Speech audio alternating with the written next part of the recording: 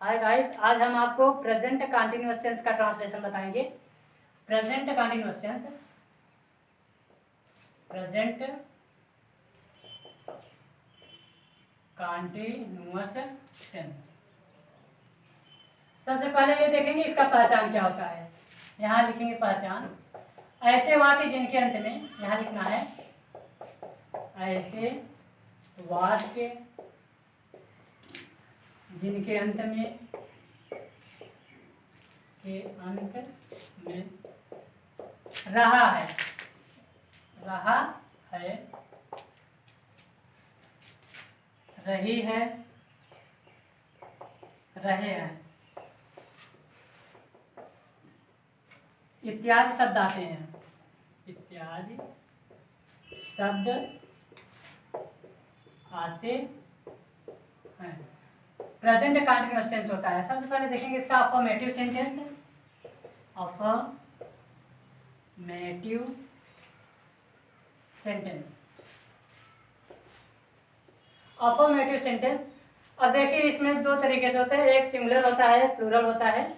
अब यहाँ देखिए सिंगुलर सब्जेक्ट और प्लूरल सब्जेक्ट एक डाल लीजिए सिंगुलर नंबर और यहाँ plural number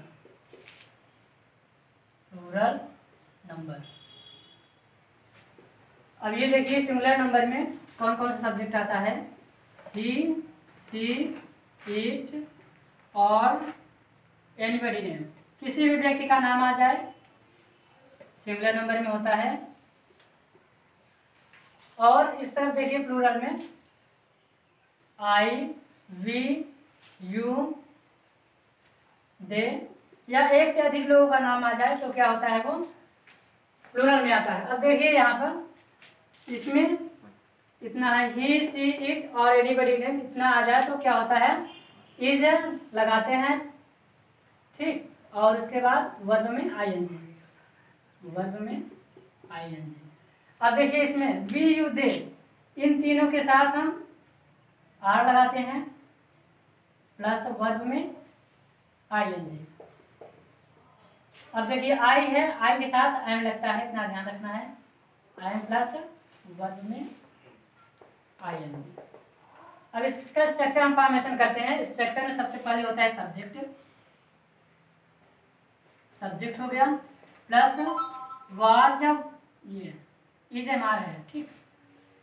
is am are जो ये हेल्पिंग वर्ब है अकॉर्डिंग टू सब्जेक्ट के अनुसार रखा जाएगा, ठीक? प्लस वर्ब में I N G plus object plus other जो कुछ बचा रहता है, हम यहाँ पर लिख देते हैं फुल स्टॉप ये आपका स्ट्रक्चर हो गया। चलिए एग्जांपल देख लेते हैं। शिवा, किताब, पढ़ रहा अब देखिए, इसमें शिवा किताब पढ़ रहा है, इसको ट्रांसलेट करना है। अब देखेंगे ये सब्जेक्ट इस इज़ एम आर वर्ब में आएँगे ऑब्जेक्ट अदर ये आपका स्ट्रक्चर हो गया। इसी स्ट्रक्चर के अनुसार हमें करना है। सबसे पहले देखेंगे सब्जेक्ट क्या है। सब्जेक्ट शिवा हो गया ऑब्जेक्ट किताब हो गया। पढ़ रहा है, ये आपका मेन वर्ब हो गया। तो सबसे पहले लिखेंगे सब्जेक्ट ये हो गया शिवा। हो गया। अब क्या करेंगे? Is am are according to subject subject देखिए सिमिलर नंबर है। सिमिलर नंबर के साथ लगता है इज़ और वर्ब में आई एन जी तो यहाँ पर रखेंगे इज़ अब देखिए मेन वर्ब क्या है? पढ़ना। तो ये हो गया R E A D I N G reading हो गया। अब किताब है रीडिंग दी इस प्रकार हम इसको ट्रांसलेट करेंगे। चलिए नेक्स्ट एग्जांपल हम देख लेते हैं। एग्जांपल सेकंड वे स्कूल जा रहे हैं।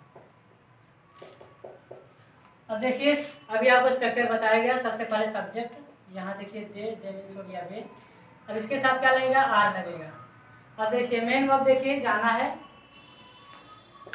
मेन वर्ब में आई भी लगा दिए। टू लगाकर, अब देखिए स्कूल की ओर जा रहा है तो ये going to school next example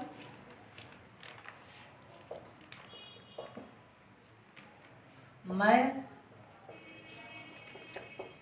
गाना गा रहा हूँ।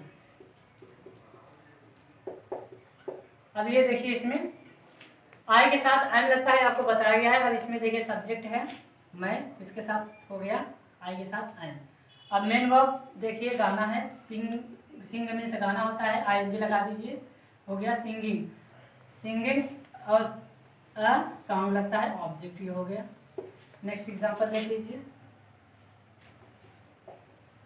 रहीम और मोहन खेल रहे हैं। खेल रहे हैं। अब देखिए, इसमें रहीम और मोहन दो हैं, दो नाउन है, नाम है। तो इसको क्या करेंगे? जब हम ट्रांसलेट करेंगे तो ये दोनों के साथ आर लगाएँगे, क्योंकि इसमें एक से अधिक लोगों का नाम आया है। तो क्या करेंगे? ये हो गया रहीम एंड मोहन। रहीम एंड मोहन। हो गया, अब देखिए मेन वर्ब क्या है इसमें? खेलना, लेकिन अब देखिए, इसके साथ क्या लगेगा? आर लगेगा, क्योंकि ये प्लूरल में आ गया है आर प्ले मीन्स हो गया, खेलना आई लगा दीजिए प्लेइंग इस प्रकार हम इसको ट्रांसलेट करेंगे। चलिए, अब निगेटिव सेंटेंस से देखते हैं। Negative sentence negative sentence means होता है नकारात्मक वाक्य वाक्य जिसमें नहीं शब्द आया हो, वो होता है निगेटिव सेंटेंस अब देखिए, इसमें भी दो होते हैं सिंगुलर और प्लूरल सिंगुलर नंबर और प्लूरल नंबर प्लूरल नंबर अब देखिए सिंगुलर में कौन कौन सब्जेक्ट आते हैं? ही आता है, सी आता है और इट और एनीबडी नेम एनीबडी नेम और इसमें प्लूरल में देख लीजिए। आई वी यू और दे और एक से अधिक लोगों का नाम आ जाता है तो वही प्लूरल में आता है। अब देखिए निगेटिव सेंटेंस है, इन सब के साथ क्या लगेगा? इज़ नॉट और वर्ब में आई एन जी और वर्ब का फ़र्स्ट फॉर्म रहेगा, उसी में लगेगा आई एन जी ठीक? वर्ब में आई एन जी अब इसमें भी देख लीजिए, ये तीन है, इसके साथ आर लगेगा आर नॉट प्लस वर्ब में आई एन जी अब देखिए आई इंडिविजुअल है, अकेला है तो इसमें देखिए आई के साथ आई एम लगेगा आई एम प्लस वर्ब में नाट भी लगाना है निगेटिव सेंटेंस से वर्ब में आई एन अब इसका स्ट्रक्चर देख लीजिए। सबसे पहले आएगा subject plus is I am are according to subject के अनुसार लगेगा ये आप क्या करेंगे? नार जोड़ेंगे। वर्ब में आई एन जी फिर उसके बाद ऑब्जेक्ट अगर और शब्द आते हैं तो उसको अदर रखते हैं, फिर फुल स्टॉप यह आपका स्ट्रक्चर हो गया। चलिए एग्जांपल देख लीजिए। सीता खाना नहीं बना रही है। अब देखिए इसमें, इसे स्ट्रक्चर के अनुसार ही हमें लिखना होगा। सीता सब्जेक्ट है, ये हो गया सीता। इज़ एम आर लगाएँगे, लेकिन देखेंगे कि सीता सिंगुलर है सिंगुलर है तो इज़ लगेगा। इज़ नॉट लगाएँगे क्योंकि सेंटेंस में नहीं आया है। इज़ नॉट अब मेन वर्ब में आए जी। अब देखिए, खाना बनाना। बना रही अर्थात कुकिंग कर रही है। ये हो गया cooking cooking food next example देख लीजिए। रमा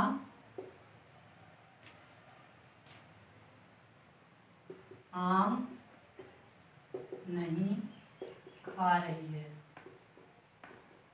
अब देखिए इसमें भी स्ट्रक्चर के अनुसार करेंगे। ये हो गया रमा। इज़ लगाएँ क्योंकि सिंगलर है। इज़ नॉट ईटिंग अब आम है मैंगो इस प्रकार हम इसको ट्रांसलेट करेंगे।